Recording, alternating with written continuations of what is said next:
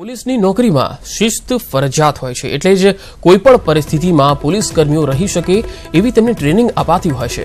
Discipline ફોર્સમાં ફરજ બજાવતા કેટલાક પોલીસ જવાનોની હાલત પાલનપુરમાં દયનીય થઈ ગઈ. વાત એવી હતી કે પાલનપુરમાં રાજ્યકક્ષાનો ધ્વજવંદન કાર્યક્રમ યોજાવાનો છે છવ્વીસમી જાન્યુઆરીના રોજ. અને એ પહેલા પરેડની તૈયારી માટે સાતસોથી વધારે જવાનોને પાલનપુર મોકલી અપાયા છે. પરંતુ જે આવાસો ફાળવાયા છે, ત્યાંના તો પાણીની પૂરતી વ્યવસ્થા છે કે ના તો વીજળીની વ્યવસ્થા છે. સ્થિતિ એટલી કપરી છે કે પોલીસ જવાનોને ત્રણ માળ સુધી પાણીની ડોલ ભરીને જવું પડે છે.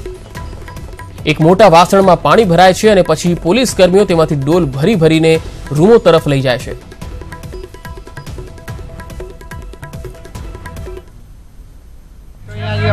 અમારે અહીંયા લે છે એના કરતી બહુ વધારે તકલીફ પડે.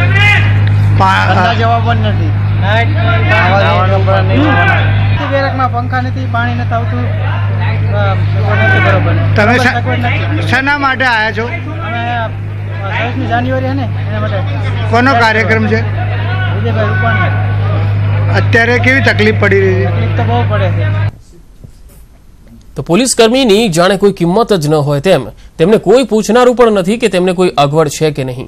રાજ્યકક્ષાનું ધ્વજવંદન મુખ્યમંત્રી વિજય રૂપાણીના હસ્તે પાલનપુરમાં યોજાનાર છે. ત્યારે પોલીસ કાફલો પાલનપુરમાં આવી પહોંચ્યો છે. શિસ્તને વરેલા આ પોલીસ કર્મીઓ તેમને પડી રહેલી મુશ્કેલીને પણ હસતા મોઢે સહન કરી રહ્યા છે અને કહી પણ રહ્યા છે.